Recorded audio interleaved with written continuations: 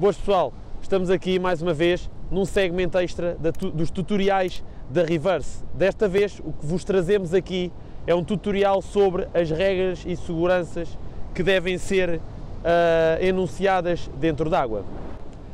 Hoje, um dia grande, como vocês podem ver, uh, uma das maneiras mais fáceis de entrar é nós detectarmos onde estão os agueiros. Os agueiros que muitas vezes são os melhores amigos dos surfistas e os piores inimigos dos banhistas. Isto porque o banhista não está preparado para no agueiro, normalmente o agueiro que nos leva para fora, uma transição de dentro para fora e vai ficar sem pé. Nós, neste tipo de condições principalmente maiores, se conseguimos usar o agueiro como uma ferramenta de ajuda que nos leve lá para fora, será o ideal. Uma sugestão que eu vos dou sempre quando vão surfar, e este tutorial é muito centrado para quem está a começar.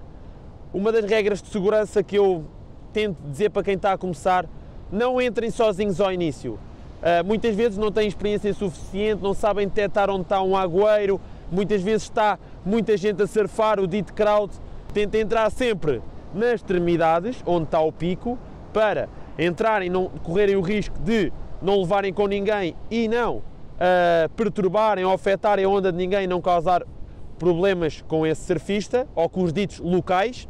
Se vocês forem enviados para fora ou forem na trajetória para fora com o agueiro num dia assim, por exemplo, mais pequeno ou maior, nunca entrem em aflição. O ideal é sempre manter a calma, ok? E nunca remem para dentro. Não remem contra a corrente. Vão estar a fazer um esforço desnecessário. Vão gastar as vossas reservas energéticas para depois remarem para onde devem, que é para onde? Para os lados e para dentro. Saem do agueiro com calma, neste caso isto é um transfer para o bodyboard, para o body surf e para o surf, ok malta? São puxados pelo agueiro e depois para os lados. Nunca remem contra o agueiro, vão para os lados, certo? E depois é que remam para dentro para tentarem apanhar uma onda ou saírem. Quanto mais pouparem as vossas reservas energéticas, melhor. A corrente vai-me mandar para fora, ok? E vocês vão ver que é muito mais fácil entrar pelo agueiro do que se eu fosse neste tipo de condições, condições muito desafiantes pelo meio da praia, onde possivelmente eu acabaria por chegar lá fora, mas ia levar muita pancada.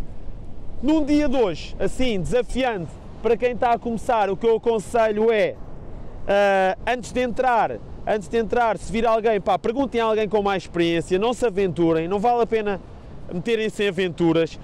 Uh, se tiverem com medo de entrar pelo, pelo canal, pelo agueiro, não se metam no agueiro. Se estiver grande, ok? O que é que vocês fazem? Pá, fiquem no inside, na espuma, neste caso na costa da Caparica, longe do pontão, está bem? E, e acima de tudo, isto, eu, os esportes de ondas são os esportes de diversão, e, como eu digo, enquanto professor, há três regras essenciais na prática dos desportos ondas. A primeira é segurança, a segunda é segurança e a terceira, digam-me em casa qual é que é? Isso mesmo, é a segurança novamente. Ok, malta, chegámos à praia.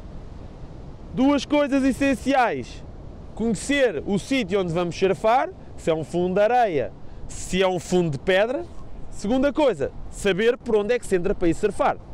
Isso é essencial. Não vale a pena entrarmos em sítios que não conhecemos sem primeiro estudarmos um bocadinho a situação. Uh, isto, isto, serve tanto para quem, vai, para quem está a iniciar como também para quem já tem mais experiência. Uh, aqui neste caso, o exemplo próprio aqui da costa, hoje, como já tinha dito, um dia desafiante, chega à praia, vejo, ok, está grande, o meu nível como é que é? Posso ir lá fora? Ok, vou. Para ir lá para fora, para onde é que eu vou aproveitar? Ok, vamos aproveitar a corrente dos pontões para ir lá para fora. Não vejo aqui nenhum sítio a meio da praia onde esteja assim um agueiro que eu possa entrar, vejo muita espuma a vir. O único, o único momento que eu vejo aqui de entrada é mesmo aqui pelos pontões. O mar, há uma coisa que eu gosto sempre de dizer, é que o mar dá-nos sinais, o mar dá-nos informações. Nós quando chegamos à praia, o, o mar transmite-nos mensagens. Ele aqui está-me está a transmitir que se eu for pelo meio ele levar uma tareia descomunal. Se eu for pelos pontões, vou conseguir passar. Por isso, é, é importante e é uma coisa que eu gosto de dizer. Uh, não há vergonha de perguntar a alguém, mesmo que vocês tenham muita experiência e se os mais experientes aqui da praia, pá, perguntem à malta, aos próprios pescadores, perguntem às, às pessoas que estão aqui, por onde é que se entra, como é que isto tem estado, há rochas ali, não há rochas ali, é areia. Ok, malta? Se nós todos comunicarmos, isto é, isto, a evolução torna-se constante, rápida, evolutiva, consistente e progressiva. Ok, malta? Bora lá! Vejam o vídeo, vai começar agora. Está fixe?